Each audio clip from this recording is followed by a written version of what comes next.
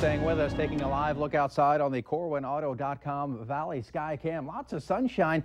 Starting to see some high clouds make their way on in, and we'll see some slow increase in those clouds as we head through the rest of this afternoon and on into this evening, and then eventually a chance for a few showers, maybe a rumble or two of thunder, better chances in the far north. 71 degrees right now, winds out of the northwest at around 7 miles per hour. They'll continue out of the west and northwest today, around 5 to 15 miles per hour. 66 Valley City, 67 in the Jamestown area, 64 in Detroit Lakes, also 64 Fergus Falls, Thief River Falls, Roseau, and in the Baudette area, one more 64 up in Langdon. 75 degrees, however, down in the Sisseton area. Winds, again, generally light, 5 to 15 miles per hour. Decent breeze out there.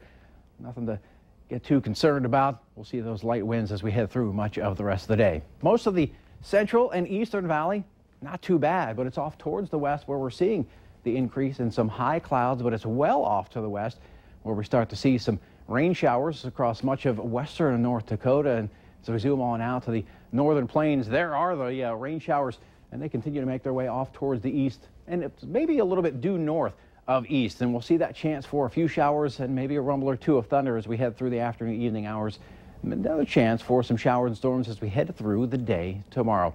Across the national map, we've got the rain showers and storms in western North Dakota and also quite a bit of rain making its way through the sunflower state of Kansas over towards the show me state of Missouri. Some locally heavy rain in central Missouri, and that extends up into southern ports, parts of the uh, Great Lakes region. For us, as we head through the day today, much of the day pretty nice. It's later on today that we'll have that chance for some rain showers and again, maybe a rumble or two of thunder. The better chances the further north you go. For the rest of us, we'll have a know, partly cloudy skies. And overnight tonight, that chance for a few showers and the weak thunderstorms will slide off towards the east. Then a break in the action, at least for most of us. The northern valley may continue to see a few showers. And then as a cool front slides off toward the south tomorrow, we'll see another chance for some showers.